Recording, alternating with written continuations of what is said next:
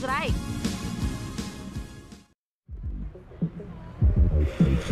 Things are starting to come together nicely here. What's the plan, Tommy? Que pasa, amigo? The plan is you keep doing that like a moron. Anyhow, we need a driver. Tommy, I'll do it. I can drive. You want Hilary, mister. Not some smart talking law school chump. Hilary's a real deal.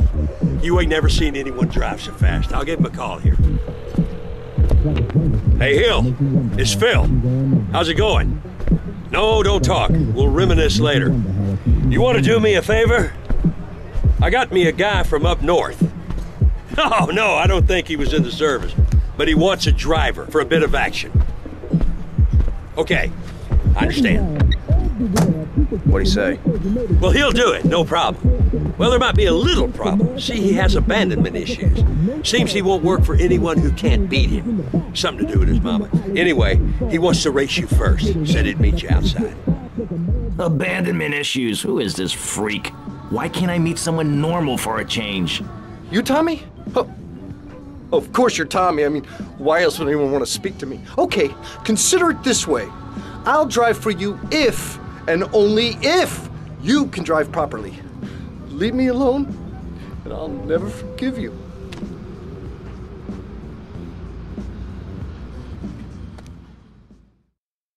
on Wildstyle. Mr. Magic's golden rule. Be a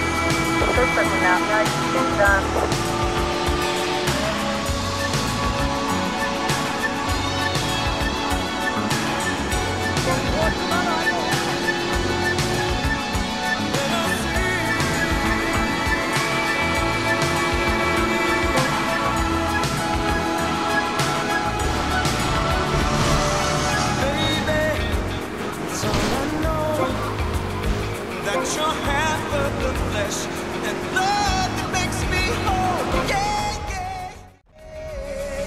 yeah. Okay, I'll drive for you, but please treat me bad.